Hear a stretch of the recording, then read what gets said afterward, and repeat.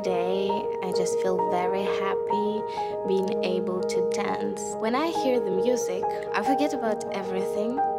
I've always dreamed to become a student at the Royal Ballet School. I used to watch the videos of the Royal Ballet Company. It's just inspired me so much. For my family, unfortunately, it's very difficult to afford um, studying here.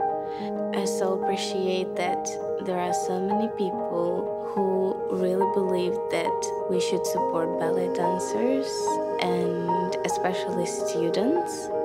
I just feel so grateful. Every day I have to give my 100% because we want to be good enough to achieve our dream. If I didn't have this chance, probably I wouldn't become a ballet dancer. I just feel very lucky to be a student here.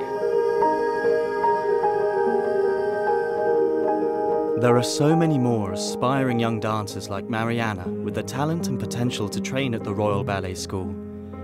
But many don't have the means to do so.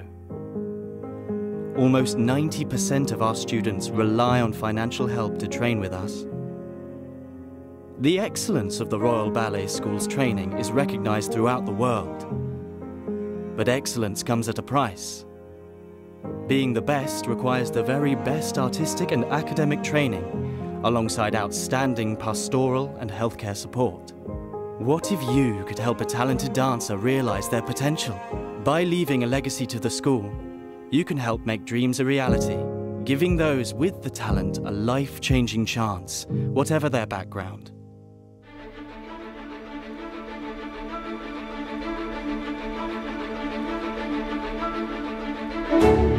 When you include a gift to the school in your will, you become a valued member of the Royal Ballet School family.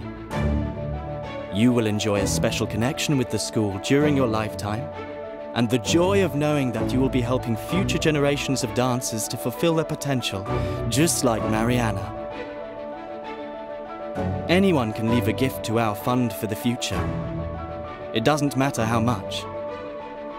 Every gift is valued and used wisely to make a real and lasting difference.